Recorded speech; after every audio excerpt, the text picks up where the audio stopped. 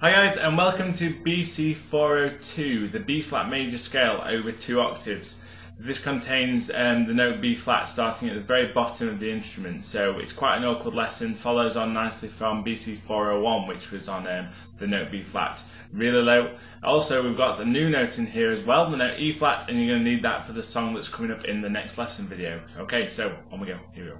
Alright then guys, so what we're going to do now is put that B, that low B flat that we talked about in the last lesson to good use now.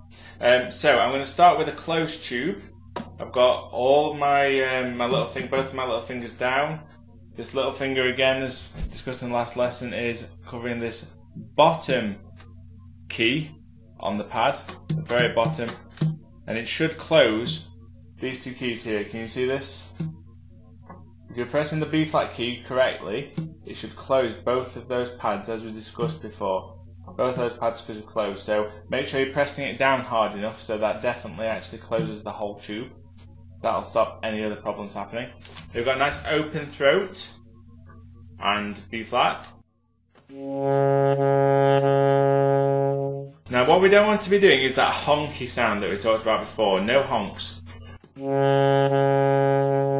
takes quite a long time and quite a lot of effort to get that note singing out quite quietly. It sounds like a bit of a foghorn at first.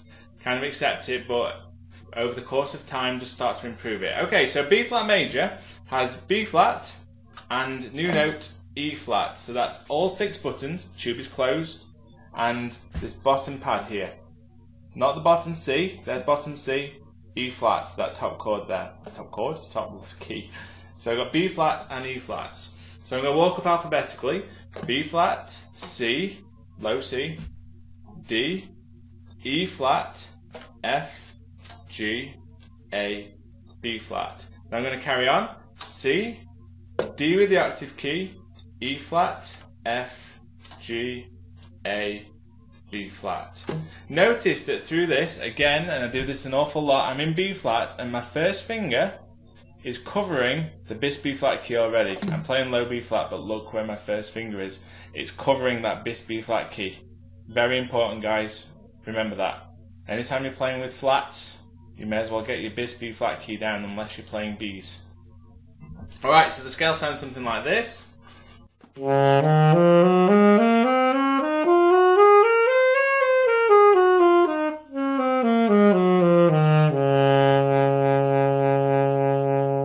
So again, I'm going for really small finger movements. I'm going to be quite pedantic about this. I want my fingers to be really moving very, very precisely, very steadily.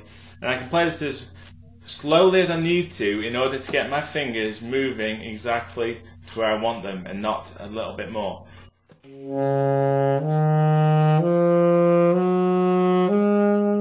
What I'm trying to do at this stage, now we're a little bit more advanced in the course, I'm wanting to lift my key up as much as I need to in order to um, make sure that the key is no longer pressed down.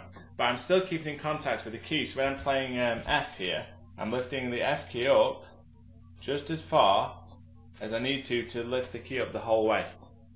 Like that. It's quite a good thing to do. Okay, so if you're finding that low B flat a real pain at the moment, this B flat scale, what I want you to do is start it from normal bis B flat without the octave key and go B flat, C, D with the octave key and walk up from there instead. So a slightly easier version is but I'm really getting used to this E flat fingering as well. So I've got two new notes, haven't I? That E flat, top key. And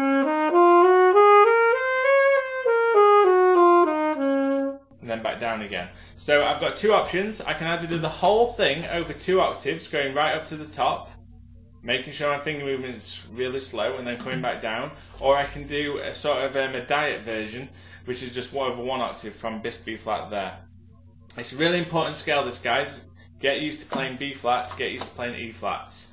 Um, I'm going to discuss the arpeggio of both of um, B flat major at a later date. At the moment, I think it's more than enough just to start walking down to that low B flat without jumping to it. So we'll do the arpeggio later on.